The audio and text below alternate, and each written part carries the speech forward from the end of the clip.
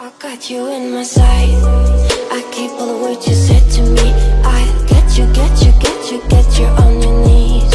Rewrite all the things you said that I should. Fala galera, beleza? Canal Bet Green trazendo mais palpite de futebol para vocês e hoje palpites aí para esse domingão, dia 26 de junho de 2022. Separei para essa rodada 11 jogos e no final do vídeo vou estar tá deixando aí três bilhetes prontos, né? Vamos estar tá deixando dois bilhetes padrão e no final aí vou estar tá deixando um bilhete extra aí com a odd um pouco mais elevada, tá show? Antes de mais nada aí, se você é novo aqui no canal Bet Green, já peço ajuda e a tua moral, né, para poder se inscrever aqui no canal, ativar o sininho para você estar tá recebendo notificação de todo o conteúdo que eu lançar aqui dentro do canal Bet Green e quem puder também deixa um like no vídeo que é importante demais. O seu like ele fortalece o trabalho que eu ofereço aqui dentro do canal e também vai ajudar para que esse vídeo chegue para outras pessoas aqui dentro do YouTube. Então, mete o dedo no like aí que é de graça e vocês vão estar tá me ajudando demais. E para maiores informações aí sobre o grupo VIP, é só me chamar lá no WhatsApp, tá? O número tá na descrição aqui desse vídeo e também tá aparecendo aqui, ó, na parte de baixo da tela, tá? Só me chamar lá no WhatsApp que eu te passo informações sobre forma de pagamento, valores e tudo que rola dentro do grupo VIP.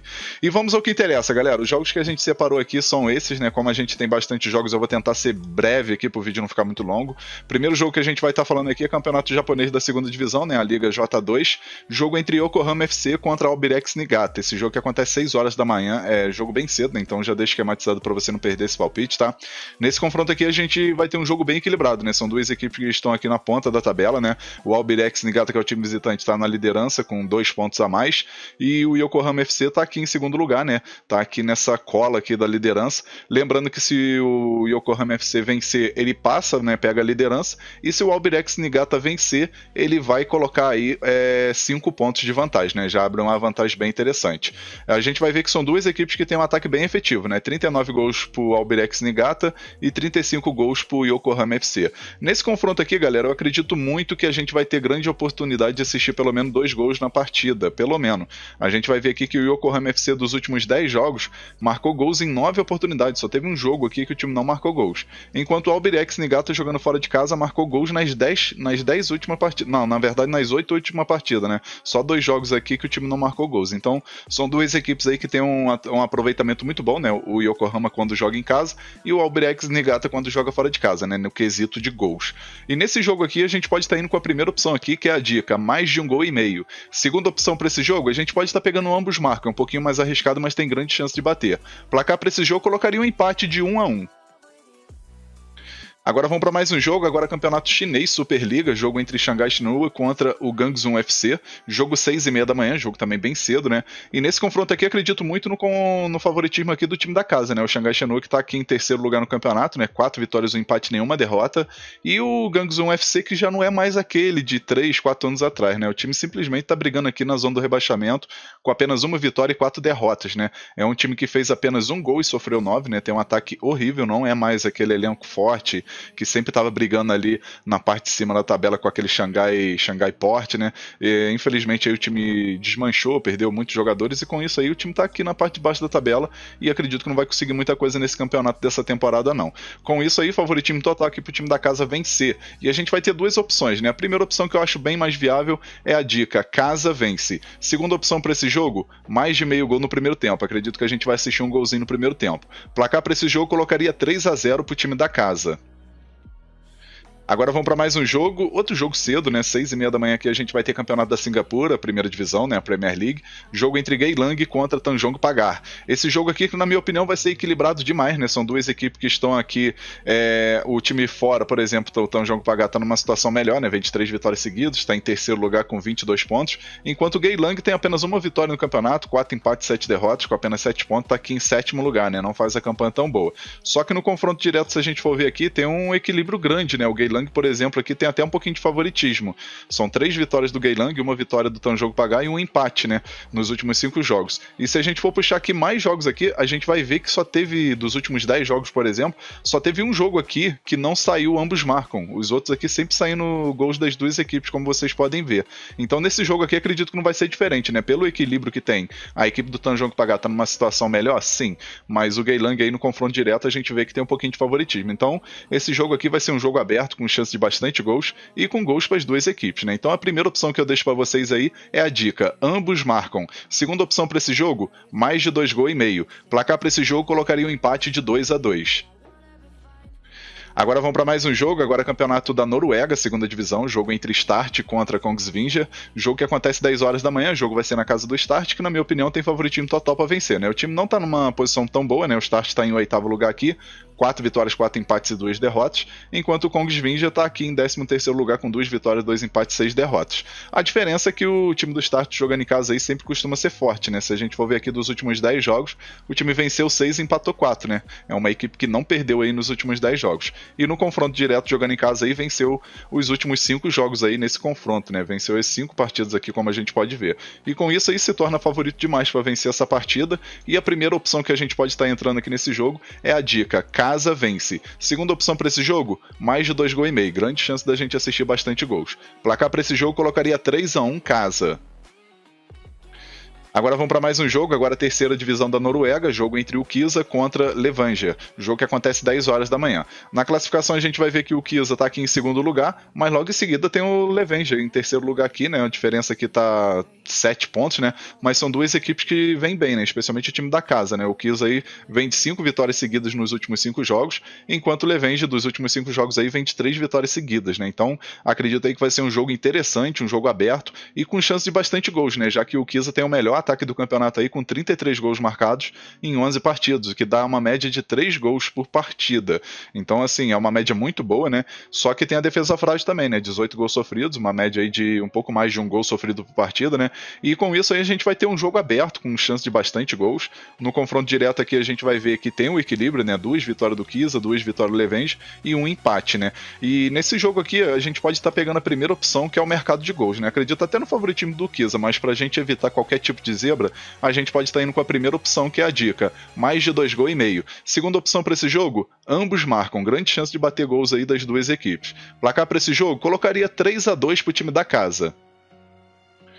Agora vamos para mais um jogo, agora Noruega, primeira divisão, jogo entre Bodoglint contra o Alessund. Esse jogo aqui que acontece uma hora da tarde, o jogo vai ser na casa do Bodoglint, que na minha opinião tem favoritismo total para vencer, né? Só que não faz uma campanha tão boa, né? Não começou esse campeonato muito bem. Até o momento tem quatro vitórias, quatro, é, quatro empates e duas derrotas, enquanto o Alessund, que tem um jogo a mais, né? Tem quatro vitórias, quatro empates e três derrotas. No confronto direto, se a gente for puxar aqui, a gente vai ver que o Bodoglint favoritismo total, né? Venceu os últimos cinco jogos aí, né? E nesse jogo aqui acredito que não vai ser diferente, né? Ah, o Bodoglint aí tem uma equipe muito mais bem qualificada, na minha opinião, do que o Alessund e se torna favorito demais para vencer esse jogo. E outra opção também aqui interessante é o mercado de gols, né? O Bodoglint aí que tem sempre o costume de ter um ataque bem efetivo, né? Nesse começo de campeonato, por exemplo, em 10 partidas o time marcou 20 gols e sofreu 14, enquanto o time visitante, o Alessund, fez 14 gols e sofreu 15. Nesse jogo a gente pode estar indo com a primeira opção, que é a mais viável, que é a dica: casa vence. Segunda opção para esse jogo, mais de 2 gols e meio. Placar para esse jogo aqui colocaria 3 a 1 casa. Agora mais um jogo aqui da, do, da Noruega Primeira Divisão, jogo entre Strom e God 7 contra o Lillestrøm. Jogo que acontece uma hora da tarde, o jogo vai ser na casa do Strom, é, do Strom God 7, mas eu acredito até no favoritismo do visitante, né, que ainda não perdeu nesse campeonato, né? O Lillestrøm aqui está na liderança do campeonato isolado, com 8 vitórias, 3 empates e nenhuma derrota, 24 gols marcados e 8 gols sofridos. Enquanto o Strom God 7 está com 17 gols marcados, 20 gols sofridos, 17 pontos até o momento, né? Tem 5 vitórias, 2 empates e 4 derrotas.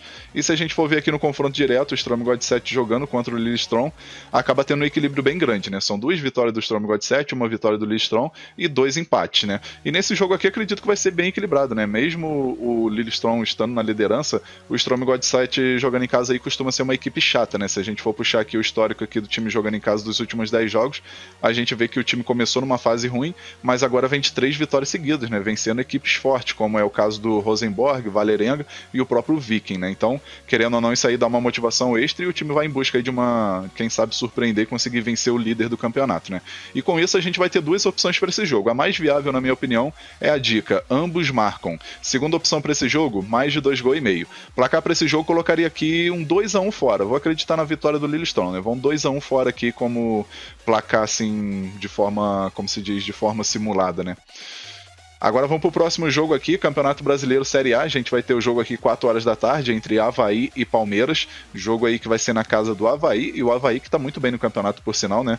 É, o time tá aqui em 11 lugar, faz a campanha muito boa. É um time que no início eu achei que ia brigar pra, aqui na parte de baixo da tabela, mas acabou que é, depois que eu assisti alguns jogos do Havaí, eu vi que a equipe é bem qualificada aí, tem chance aí de brigar aqui é, entre 12 até sétimo lugar, mais ou menos. Acredito que vai ficar aqui nessa parte de cima, aqui, né? No meio da tabela. E nesse confronto aí vai ter uma tarefa difícil que é jogar contra o líder, né? O Palmeiras pode até poupar alguns jogadores. A princípio, aí, pelo que eu tava vendo nas escalações, o Palmeiras não deve poupar muitos jogadores, tá? Só alguns. E com isso aí acaba se tornando favorito para vencer esse jogo, né? Acredito aí que o Palmeiras tem chance de vencer esse jogo. E também é um jogo interessante para gols, né? O Palmeiras aí que tá com um ataque muito efetivo, né? O melhor ataque do campeonato com 25 gols marcados e 8 gols sofridos. Enquanto o time do Havaí tem 15 gols marcados e 19 gols sofridos. Nesse jogo aqui a gente vai ter duas opções. A opção mais segura, na minha opinião, é o mais de um gol e meio, né? Então a nossa primeira dica aí, mais de um gol e meio. Segunda opção, a gente pode estar pegando aqui Palmeiras para vencer com empate anula, né? Então a segunda opção aí, fora vence com empate anula. Placar para esse jogo colocaria 2 a 1 pro Palmeiras, 2 a 1 fora. Agora vamos para mais um jogo, agora Campeonato dos Estados Unidos, a MLS, né? A Major League Soccer, jogo entre Los Angeles FC contra New York Red Bulls, jogo que acontece 4 horas da tarde. Na classificação aqui a gente vai ver que o Los Angeles está na liderança, né? Está na liderança aqui de forma isolada. É, o time tem uma partida a menos do que o Real Salt Lake, que é o segundo colocado, né? Então com isso aí pode aumentar essa vantagem de dois pontos para cinco vencendo esse jogo. E acredito que tem grande, é, grande favoritismo para vencer, né? O time está com 9 vitórias, 3 empates, 3 derrotas até o momento, né? 30 gols marcados marcados e 17 gols sofridos. Um ataque muito efetivo, né? Melhor ataque do campeonato. E vai pegar aqui o Red Bull, o, o New York Red Bull, que está aqui em segundo lugar na Conferência Leste, né? Com 7 vitórias, 5 empates e 4 derrotas. 26 gols marcados, 17 gols sofridos. E nesse jogo aqui a gente vai ter assim um equilíbrio muito grande, né? Acredito aí que vai ser um jogo bem equilibrado. No confronto aqui a gente vê que tem três jogos aqui, os três jogos sempre batendo ambos marcos e mais de dois gols e meio. E nesse jogo de desse domingão aí acredito que não vai ser diferente, né? O Los Angeles aí tem até um de favoritismo pelo fato de jogar em casa, mas vai pegar uma equipe muito boa que é o New York Red Bulls, né? Então, com isso a gente vai com a primeira dica aqui, que é o mercado de gols, né? Acredito que é jogo bom aí para três gols ou quem sabe até mais, e a gente vai com a primeira opção aí com a dica mais de dois gols e meio. Segunda opção para esse jogo, ambos marcam, grande chance aí das duas equipes marcarem gol. Placar para esse jogo colocaria 2 a 1 pro Los Angeles FC pelo fato de jogar em casa. Agora vamos para mais um jogo, agora Brasileirão Série A, jogo entre São Paulo e Juventude, jogo 6 horas da tarde, jogo vai ser na casa do São Paulo, que é muito forte por sinal, né? O São Paulo deve poupar alguns jogadores, né, por conta do jogo de volta aí é, que vai ter, mas eu acredito que não, apesar que não deve poupar não, né, que nessa próxima semana acho que tem Libertadores, então a princípio acho que o São Paulo não vai poupar não. Eu acho que tem muito desfalque por lesão, né? Teve o, o Arboleda, por exemplo, ele se machucou feio, cara, eu via, eu tava assistindo o jogo, o pé do cara virou para trás, possivelmente não vai jogar, e tem alguns desfalques aqui, né? Tem o Nicão, o Thales, o Luan, o Gabriel Sara. Enfim, tem alguns desfalques aqui, mas acredito que mesmo assim o São Paulo é muito favorito, né? Vai ter Calério no ataque ali, que é sinônimo de gol. E na classificação a gente vai ver que o São Paulo tá aqui em nono lugar, né? Mas vencendo esse jogo aqui sobe umas 3, 4 posições. E o time vai em busca dessa vitória, né? Ainda mais que vai pegar o último colocado aí, que é o Juventude, que vem de quatro derrotas seguidas, né? Até o momento o time só venceu duas, empatou quatro e perdeu sete. E acredito que o São Paulo aí tem grande favoritismo, é, especialmente jogando em casa, né? Jogando em casa aí a gente vai ver que dos últimos 10 jogos a equipe só perdeu uma, que foi pro Palmeiras, né? Naquela virada não, foi pelo Brasileirão, né? A virada foi no. Foi no. Não. Esse jogo aqui não foi no. Parece que esse jogo aqui foi pela Copa do Brasil. Ah, não, esse aqui foi pelo Brasileirão. Depois que teve jogo aqui na Copa do Brasil, venceu. Certo, certo. Falha nossa. Mas enfim, jogando em casa aqui dos últimos 10 jogos, a equipe venceu 8, empatou 1 e perdeu apenas uma, né? Um, assim, um desempenho excelente do, Palmeiras, do, do São Paulo aí jogando em casa. E fora de casa aqui, o time do Juventude a gente vai ver que tem 6 derrotas. 6. Não, 5 derrotas três vitórias e dois empates, né? É um aproveitamento razoável, né? Mas agora vai pegar aí o time do São Paulo, que é muito forte e tem grande favoritismo para vencer esse jogo, né? Então a gente vai ter duas opções aqui nesse jogo, né? Assim, a mais óbvia e mais segura, assim, mais viável na minha opinião, é a vitória do São Paulo, né? Então nossa primeira opção aí a gente vai com a dica, casa vence. Segunda opção para esse jogo, mais de um gol e meio, grande chance de sair dois gols ou mais. Placar para esse jogo colocaria 3 a 0 para o São Paulo. Agora vamos para o nosso último jogo. Agora a gente vai ter Série C do Brasileirão, jogo entre Paysandu e Brasil de Pelotas, jogo 7 horas da noite. Nesse confronto aqui, acredito muito no favoritismo do Papão, né? O Paysandu que está em terceiro lugar, vencendo esse jogo, pega a liderança de forma momentânea, né? Porque tem o Mirassol que ainda vai jogar e o ABC que está jogando nesse exato momento, né? Então o Paysandu aí vai em busca dessa vitória para poder pelo menos aí é, encostar no líder, ou pelo menos aí ficar aqui na cola, né? E acredito que tem possibilidade de fazer isso porque jogando em casa o time é muito forte, né? A gente vai ver que o Paysandu jogando em casa aí tem cinco vitórias, um empate e nenhuma derrota, né? Enquanto o time do Brasil de Pelotas jogando fora de casa ainda não venceu, né? Um empate quatro derrotas. Na classificação geral aqui, o time do Brasil de Pelotas está na zona do rebaixamento, né? Com apenas duas vitórias, três empates e seis derrotas, né? O time vinha de uma sequência ruim, aí conseguiu vencer em casa o Ferroviário, que é uma equipe que também está aqui numa fase ruim, né? Mas acredito que contra o Paysandu aí, o time do Brasil de Pelota não vai ter muita chance, não. Então, favoritismo total aqui pro Papão vencer esse jogo. E a gente vai com a primeira opção aí, com a dica Casa Vence. Segunda opção para esse jogo, mais de um gol e meio. Grande chance da gente assistir dois gols ou mais. Placar para esse jogo, colocaria 2 a 1 pro Paysandu, 2 a 1 Casa. Enfim, galera, fechamos nossos palpites aqui para essa rodada de domingo. Espero que vocês gostem, que possam lucrar bastante. E agora eu vou estar lançando para vocês aí os três bilhetes que eu prometi no, come no começo do vídeo, né? E o primeiro bilhete é esse daqui, ó.